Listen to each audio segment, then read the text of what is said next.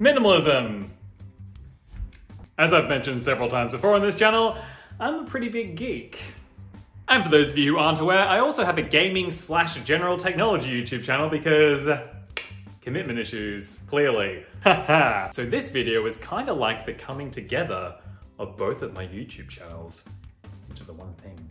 Ooh. When it comes to video games, I don't exactly have the same minimalism standard that I would with something like clothes, general household items, friendships. because clothes, boring. Video games, not boring. I still have a standard, it's just a lot more relaxed when it comes to video games. Using the KonMari method, for example, I can confidently say that video games bring me a lot of joy. That being said, a few years ago, it got a little bit out of hand. Yeah, this is what my childhood bedroom used to look like. Absolutely chock full to bursting. Almost everything you see here, I ended up either selling or donating. When every single cupboard, drawer, surface in my room was chock full of collector's editions, memorabilia, video games, action figures, I did not feel joy. Shockingly. So after many, many, many culls and clearouts, this is what I have in my house that I live in at the moment. So even though I do still own multiple consoles, quite a few physical games, multiple controllers, and yeah, even some collectibles, it still feels really minimal to me in comparison to what it used to be. And like most things in life, you're only really in competition with yourself. So screw everyone else, as long as you're improving, to be totally honest, I do still have some video game stuff with my parents, like my old Game Boy and Game Boy games, but I mean, why would I ever get rid of those? So, I'm gonna show you how I try to stay intentional with my video game purchases and maybe give you some hot tips and tricks in order to do the same. Because when you got too many things, you don't really appreciate any of them.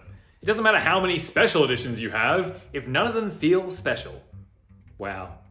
That was so wise, Alex. Slap that shit on Twitter. Let's start off with controllers. These days, controllers come in so many fancy colors and limited edition variants that it's really easy to get carried away and before you know it, you've got 20 different color controllers for the same console, which is a little bit impractical because you can't use them all. If this is you, try and think logically about it. Like, how many controllers is the absolute maximum that I'll ever need in a single situation for a console? The Switch, for example, I realized that I would be playing at most four player Mario Kart. I have the Pokemon Let's Go Pikachu Edition Switch. It came with a Pikachu Joy-Con and an Eevee Joy-Con. I also got the Switch Pro controller for my longer, more serious single-player gaming sessions. So I thought, logically, I only really need one more Joy-Con to be able to play four-player Mario whenever I want with my friends or family. So I ended up picking up a pre-owned green Joy-Con controller from EB Games. So now one player can use each of the three Joy-Cons and one player can use the Pro Controller, which is maybe a bit of an unfair advantage, but if there's only two people playing, the other person can use the Joy-Con grip with two Joy-Cons. Works out pretty well. As for the PlayStation 5, I actually ended up buying both of the new DualSense colors, which wasn't really intentional, it was a bit of an impulse purchase, which is unlike me, However, I decided that I really like both of these colors and I'm just gonna sell my white controller because I definitely don't need three. Special mention here to USB-C. I love USB-C an irrational amount. It satisfies a lot of efficiency slash minimalism needs. I can charge my PS5 DualSense controllers, my Switch Pro controller, my actual Switch, my Mac, all from the same USB-C charge cable. It reduces clutter because you don't have to have a bunch of different cords. And because of that, it reduces the frustration of not being able to find the correct cord. When I go somewhere and I'm packing my MacBook and my Switch, I only have to bring one charger along. Now I just wish that iPhone would swap over, but they won't. I mean, I could just switch to a Pixel or something, but I'm too far into the Apple ecosystem now. I can't get out. Help me. Let's talk about physical versus digital games. When thinking about minimalist gaming, it probably seems logical to choose digital over physical. But there are positives and negatives to both, and at least in the last couple of years, there have started to be some really great deals on digital games, which makes them a lot more enticing. However, if you want to buy a game on launch day, it's pretty much guaranteed to be more expensive if you buy it digitally.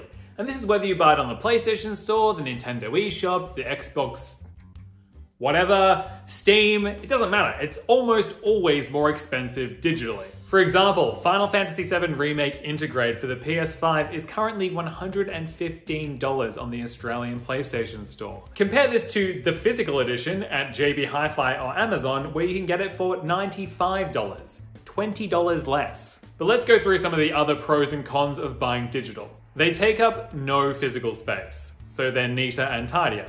You can travel with them. No matter where you go, as long as you have your console and an internet connection, they'll be there with you. If you move, you don't have to pack them, you just have to pack your console. In some instances, the games will load faster. This is a very important one. If you're gaming and you want to swap games, you don't have to get up. You can't lose them, unless somehow you lose your login and then you lose them all. After a game has been out for a while, digital stores tend to have some really good sales, particularly on things like complete editions or gold editions that have all the DLC previously released for the game in one big complete package. Let's talk about going to actual stores. If you buy a physical edition of something, you either have to order it online and wait for it to be delivered, or horror, you actually have to go out to a store, which these days no. And finally, release dates. If you buy a physical game, you have to wait for those pesky stores to actually open, or hope that they do like a midnight launch of something. But then again, you have to actually go there to get it. As opposed to digital games, where you can just stay up till midnight, start the download going, and then go to bed, or wait till midnight, download it, and play it straight away. On to the cons! They may not take up physical space, but in a lot of cases, they'll take up more digital space than the physical edition. And if you're limited on hard drive size, PlayStation 5, this might be a problem. Eventually, at some point in the future, the game won't be available to be re-downloaded anymore. So if you accidentally delete it, or if you lose your console, or whatever happens, you may lose access to a game that you've already paid for. For example, Sony almost shut down the PlayStation 3 store a couple months ago, and then everyone kind of panicked and they decided to keep it a bit longer. But if they had and you didn't download any games, you would have lost them. Whereas I still have access to all of my Game Boy games from the 90s because they are physical cartridges. That being said, a lot of games these days come with huge day one patches, making the game pretty much unplayable without them, or literally unplayable without them. So there could come a time in the future when if you delete the updates of your games off your console and you try and play your physical games, they're also unplayable. Also, it's a lot more difficult to borrow or loan digital games, and you can't sell them or trade them in. Last year, I bought The Last of Us Part 2 in the week that it was launched for a special launch price of $69. I played through the whole thing, I loved it, but it was heavy. And I was like, you know what? I'm probably not going to replay this for a very long time, if at all. So I traded it into EB Games. I got about $40 for it. Haven't wanted to replay it since. And it's currently on sale on Amazon for $28, and part 1 is on sale for $11. So if I do ever want to replay it again in the future, I will just buy it for less money than what I traded it in for. And if I never want to play it again, then it's not just taking up space on my shelf for no reason. Some retailers, like EB Games in Australia, offer this thing where you can return a game within the week that you purchased it for any reason. So you can play a game for six or seven days and be like, I really just didn't like it, and you can return it. Good luck returning a digital game. The following are some more minimalism gaming tips. If you're not dying to buy a game that's just being released, wait a little while for it to go down in price or buy it secondhand. Finish games you already own. If you're anything like me, there's probably multiple games that you got when they were on sale or from a friend or something that you've never actually gotten around to playing or at least finishing. So why not finish those before you buy new ones? If you don't want the cases for games, they can sometimes be a lot cheaper if you just buy the actual disc or cartridge. I got my Switch while I was living in the UK and I knew that eventually I'll be moving back to Australia and I would have limited space. So I bought Mario Kart 8 Deluxe and Breath of the Wild secondhand without their cases for like $20 less than they would have been with their cases, and I saved money and I still got to play the games. Sharing or borrowing games. If you have a friend or family member that has the same console as you, why not share games? It can be a great way of saving money. Last but not least, the environment. Physical games require physical materials shockingly. Of course, digital games require big servers to store them, but a lot of materials such as plastic go into the creation of physical games, and then of course you have to ship them around the world, which is hardly environmentally friendly.